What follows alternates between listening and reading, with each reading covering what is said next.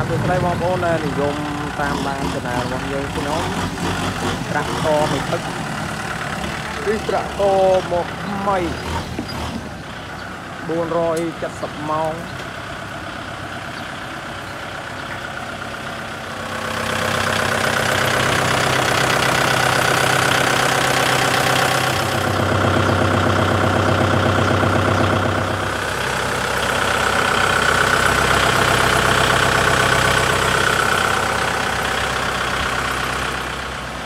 នេះគឺ2019បាទ2019ពេញហ្មង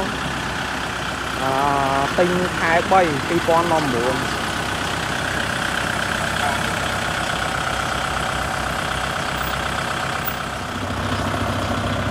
្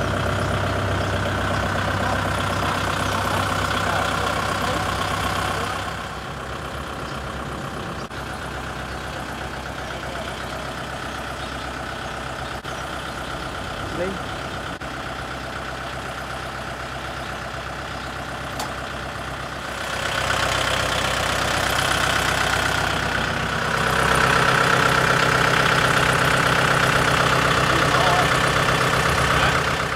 រៀបចំឡើងឡានហើយចេញពី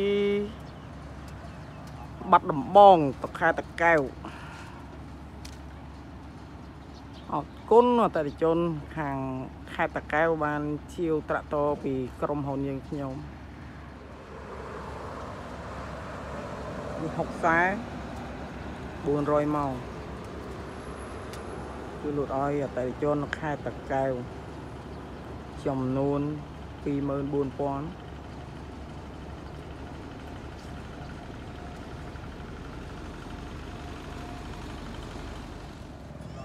ធ្វើដំណើរឡើងឡានហើយ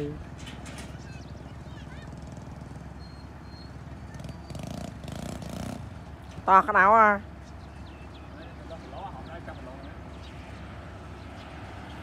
ប៉ាពុតដៃដៃខាងពោដល់អត់ហ្នឹងហេនោះ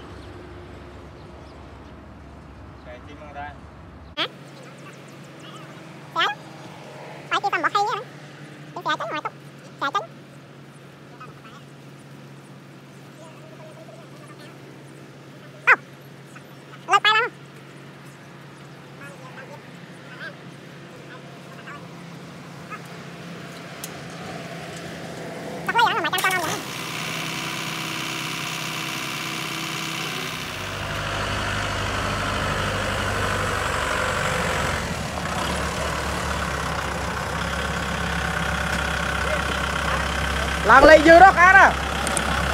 ហេឡើងមួយណាកោ